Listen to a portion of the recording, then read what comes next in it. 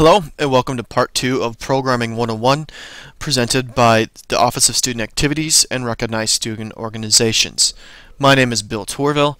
I am the Assistant Director for Campus Programs at Minnesota State University Mankato, which means I work primarily with the Impact Programming Board, uh, and I am one of the campus uh, programming specialists here at Minnesota State University Mankato.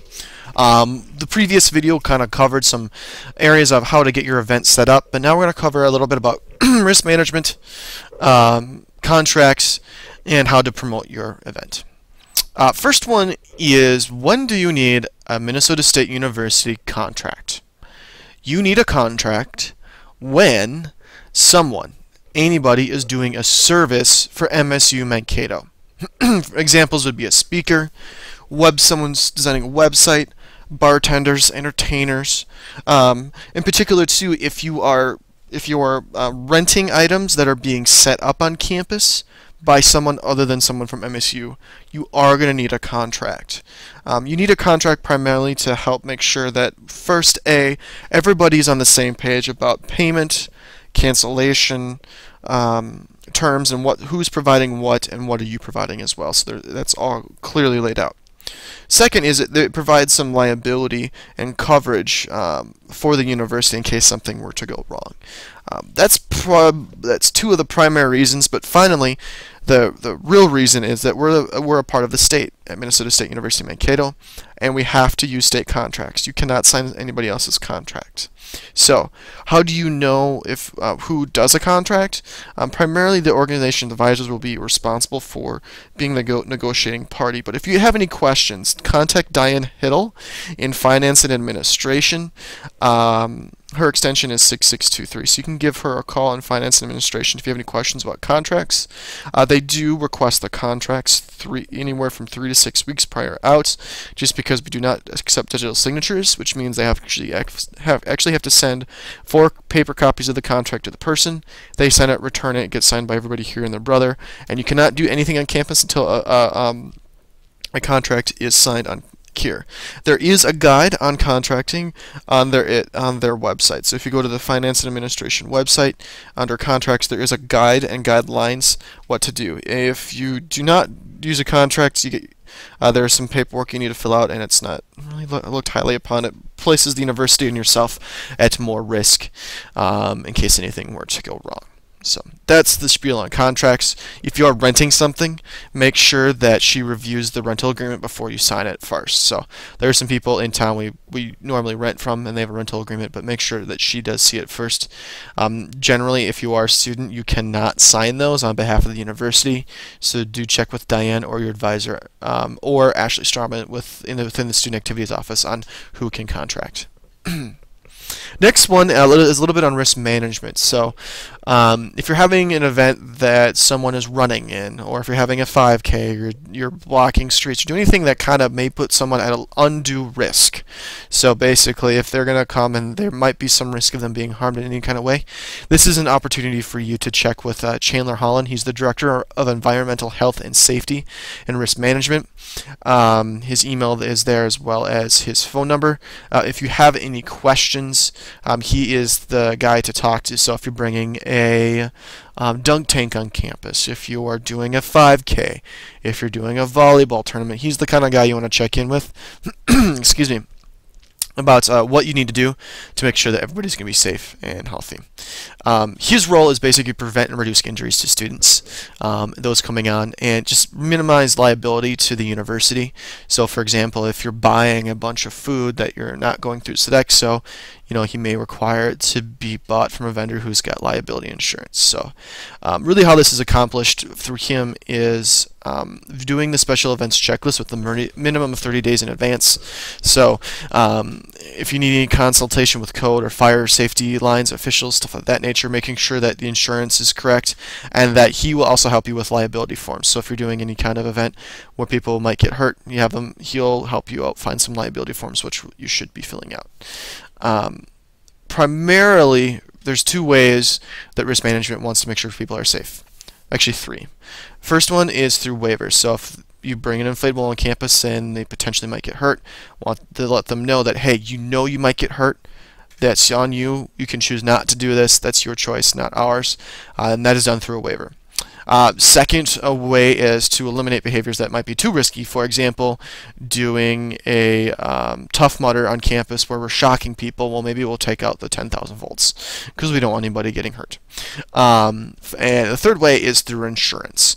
Um, as a state of Minnesota, we require $2 million per occurrence insurance or a 1 million with a 2 million cumulative umbrella. So that is a big deal. If you're contracting with someone, an inflatable vendor, someone's coming on campus doing go-kart rides, you have to make sure they have $2 million per occurrence with and to or a $1 million with a $2 million cum, uh, cumulative umbrella. If they don't have that, you can't contract with them, period. If they don't have it, there's the option to buy additional insurance through Tulip program. It is expensive. Be prepared. It is not cheap at all, so it is very expensive. Do be prepared for that. Um, any questions on insurance, waivers, liability, contact Chandler Holland in Environmental Health and Safety. Final piece of the video here is a little bit about knowing your audience and who are you going to be marketing to. That is the most important part. So when you're marketing your event, there are some options for you to uh, market to uh, students. You can reserve A-frame spaces in the Centennial Student Union. You can reserve tabling spaces in the Centennial Student Union. You can reserve um, anything in the Centennial Student that's reservable is through the Event and Meeting Services um, office in 219. Uh, you can reserve tabling spaces outside of Carkoski Dining Hall. That is done through the McElroy front desk. Um, and then there's opportunities to um, to promote on the mall. If you're going to be doing anything um, such as chalking the sidewalks, um, setting up a stand outside of Taylor Center, um, handing out flyers and stuff of that nature, uh, you do need to reserve that through the scheduling office, again through event and meeting services, primarily just so they know you're doing it so that all of a sudden they don't get, oh, there's this person doing this X, Y, Z in a corner, like, well, you have no idea what's going on. So you just really need to let them know you're going to do it for the most part, and usually nothing is, um, declined for that nature. Um, but when you're knowing your audience is important. So if you're going to be do, um, promoting to students primarily uh, on campus and off campus, you know, you're going to want to keep things short and sweet. They have a lot of stuff going on. Um, obviously, you can reach out through them so, through social media, but that is being proving to be more and more difficult unless something goes viral. And going viral is not easy. So I really encourage face-to-face contact, getting out, getting and talking to people. That's going to be your most effective way uh, to reach um, the student population.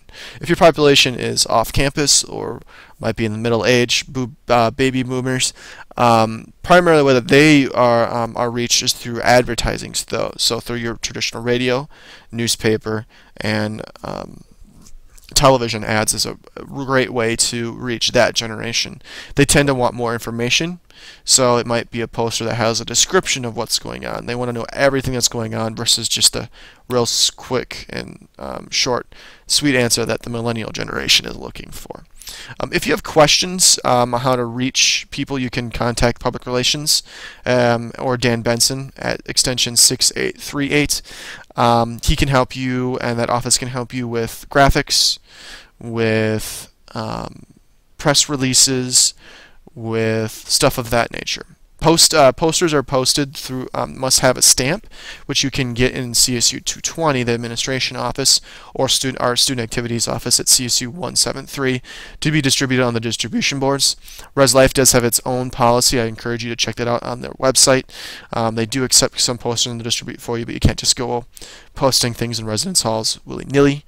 Um, and as well, you can't go walking around residence halls to individual rooms uh, soliciting. You cannot do that. That is not allowed with their policy. So, a little bit about knowing your audience and um, and really um, how to reach your audience. Um, I encourage you um, to go to the Leadership Toolbox, which is mnsu.edu backslash activities backslash toolbox, and I actually have uh, it's about a 10 to 15 minute podcast and one sheet on promoting at MSU that has all those details in there, and really how do you take advantage um, and how can you reach students to promote your um, event here on campus. Um, but with that this is the end of the video and end of the presentation. So if you have any questions, feel free to contact me at any time. My email is william.tourville, T-O-U-R-V-I-L-L-E, at mnsu.edu. Or you can stop into the Student Activities Office at any time. That's 173 Centennial Student Union, and any of the full-time staff will be able to answer questions for you. But on that, thanks for listening, and have a great day.